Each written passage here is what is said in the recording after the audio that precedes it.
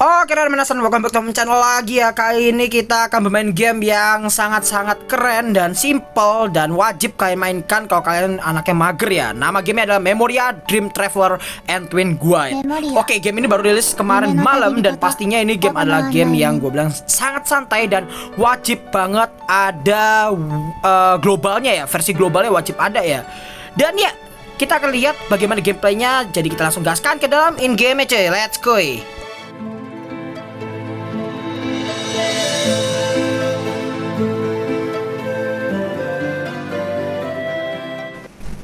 Oke, ini dia untuk gameplaynya tadi ada storynya tapi gue skip dan ini game masih berbahasa JP, masih berbahasa Japanese tapi ada beberapa bantuan bahasa Inggris yang gue bilang ya cukup mencukupi banget ya. Jadi nggak full Japanese tapi ya mayoritas bahasanya masih Japanese sih ya. Tapi ya gampang lah intinya. Bagi kalian yang gamer-gamer udah paham soal ini kayak bentuk-bentuk uh, posisi tombolnya kayak gimana itu simple sih ya gue udah sering main game Japanese jadi menurut gue cukup mudah. Dan kalian bisa lihat sendiri gameplaynya yaitu adalah semacam arena gitu modelnya di mana ada dua sisi. Sisi musuh dan sisi kita. Dia ma kita dan musuhnya mengirimkan uh, semacam monster dari pihak kita untuk melawan mereka sampai ke base nya mereka sehingga kristal mereka pecah dan kita akan memenangkan matchnya cuy. Dan di sini ada juga. HP di sini ada 500 dan ada kakak kita juga dan ya, ini game simple banget ya dan pastinya nggak perlu susah-susah buat mikir. Pastinya ini game cocok buat kalian yang pengen banget atau mager buat main game yang ngegrinding parah. Dan ya, kita udah menang bintang 3 dan seperti biasanya pasti ada diamond buat jadi rewardnya coy. Oke, ada gemnya dan itu aku nggak tahu yang sebelah kanan kayak buat EXP gitu modelnya. Oke. Kita loading sebentar dan iya ada story-nya ternyata ya. Capture tuh cepet banget anjir. Oke. Kayak karena emang ini story-nya cukup cepet banget dan pastinya gameplaynya yang sangat-sangat easy peasy lemon squeezy. Gua pakai apa bakal skip bagian ini sih kayak buat story-nya ya. Oke. Udah selesai story ya kita. Skip skip mantap. Dan sekarang kita harus gacha kayaknya coy. Ada tulisan gacha reward get uh, kemungkinan besar SR ya paling banyaknya ya. Dan ada UR tapi BTW.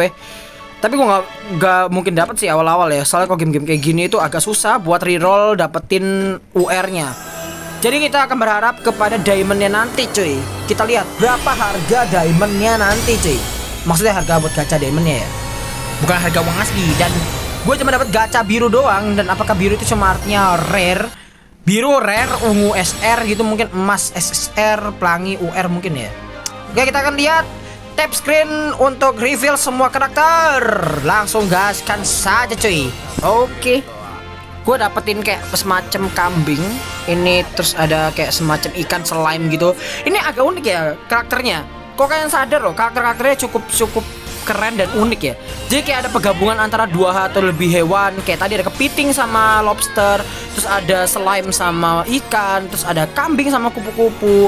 Terus juga ini kita dapat apa lagi? Ada cewek juga ada cewek mantap. Oke ada loli. Oke kita kebanyakan dapat kambing sih ya. Terus ada dapat fragmentnya juga. Apakah nanti fragment bisa kita jadikan brick truck atau limit brick gitu modelnya? Gua nggak tahu ya Oke, kita akan skip bagian downloadingnya cuy Karena terlalu lama cuy. Gas kan ngegaca karena kita ternyata dapetin 6450 gem.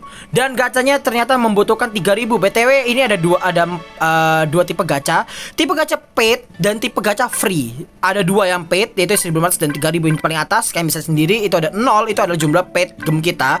Dan ini yang ada yang bayar ah yang nggak bayar ya? Terus ini yang nggak bayar apa yang bayar bakal gue tunjukin? Bingung ngomongnya anjir.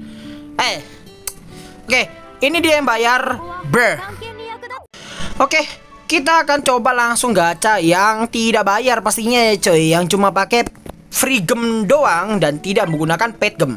Ini dia gacanya ada dua jenis. Ada yang SSA sama ada yang UR gua rated up. Oke kita akan coba gacha yang ini dulu karena dapat UR ya. Oke Ingat ya guys, ini uh, gacanya itu nggak kudu dapat UR only. Jadi guaranteed itu bukan berarti dapat ya. Sama halnya seperti dapat pelangi kan bangsat.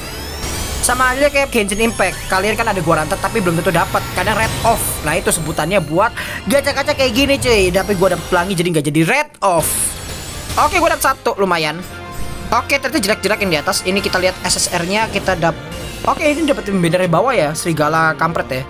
Dan ini game gue bilang ya, wajib banget ada globalnya sih. Bener-bener wajib banget ada globalnya. Kita dapat SSR lagi, dapat badak dan badaknya kayak semacam ada bunga gitu cuy. Ini gue bilang ya unik sih ya, hampir ngingetin gue sama game dinosaurus zaman dulu yang di time zone. Oke, kita dapat apa lagi? Dapat kera gitu model King Kong campur apa nggak tahu tuh. Oke, WR-nya dapatin singa bateng. Oke, kita akan gacha lagi yang kedua coy. Pastinya, betul habis nanti habis gacha kita bakal susun karakter dengan leveling karakternya juga mantap sekali. Oke, kita lihat. Tidak, tidak pelangi. Oh my god. Oh. What? Gak pelangi loh. Woi, dapat dua anjir. Wah, dapat dua beneran. Tapi gak ada SSR -nya. Oh my god, dapat bateng lagi dong. Ini apa? Oh, loli bangke. Gak apa-apa lah ya, kayak dia kelihatan kuat sih Karena UR ya, ultra rare. Oke, ini dia penyusunan karakter ya Kalian paham sendiri lah, itu ada gambar karakter jadi satu itu Itu namanya team up. Dan kita bisa menyusun karakter kita cuy Dengan sesuka hati kita. Dan gua bakal masukin si Bapak Singa sama Mbak Mbak Loli Oke, SSR juga gua masukin uh, Mana lagi? Ini kayak gue ikhlasin deh yang kambing ini Gue mau masukin badak Oke, mantap sekali. Kita akan susun ini ke depan, terus kita bakal taruh di tengah. Beta ini uh, satu apa first, second, third dan itu itu urutan saat dia keluar di portal nanti, coy. Jadi kita jangan sampai salah susun karena tadi urutannya bisa beda nantinya ya. Oke, ini dia kita akan level up sekarang dan karena terlalu banyak mungkin bakal gua skip. Tapi gua bakal tunjukin aja. Ini cara level up ada yang di tengah itu gambar-gambar kayak uh, Goku gitu modelnya kayak ada aura gitu. Itu namanya buat level up. Dan kita bisa level up menggunakan EXP potion yang tadi kita dapetin 25 biji dan kita akan langsung nge-level up setiap karakter kita dua butir, dua butir sampai level 13 semua coy. Mantap sekali. A few moments later. Dan ya ini dia kita akan coba setes dan tadi gua udah nyelesain sampai satu strip 4 mungkin ya. Oh iya 4 bener. Sekarang udah satu strip 5. Dan kita lihat Oke, susunannya udah benar UR2 SSR ya 3, SR-nya 3 juga. Dengan susunan ya udah cukup lah ya.